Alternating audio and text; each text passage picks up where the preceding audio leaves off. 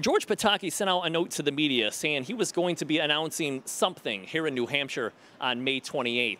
Well, when we found out it was going to be here in Exeter, the birthplace of the Republican Party, it became pretty apparent what the announcement was going to be. The former three term governor, who has flirted with running for president on more than one occasion, made it official Thursday morning here at Town Hall. We're here in Exeter, New Hampshire, birthplace of the Republican Party, Abraham Lincoln's party who saved the Union and who brought the promise of freedom to all Americans. Teddy Roosevelt's party, who fought for the square deal so that the rich and powerful couldn't limit the freedom of working Americans. And Ronald Reagan's party, who restored Americans' belief in ourselves and in the transcendent value of freedom.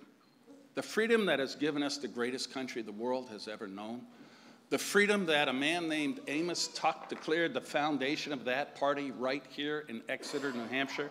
The same freedom that I fear is at risk today from an ever more powerful, more intrusive government in Washington. It is to preserve and protect that freedom for us that I stand here today. It is to preserve and protect It is to preserve and protect that freedom for future generations that I speak.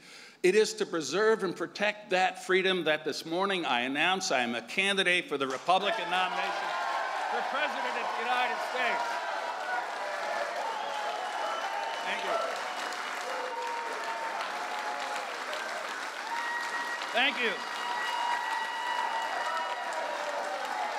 Governor Atkinson, you've been gone too long out of the national spotlight.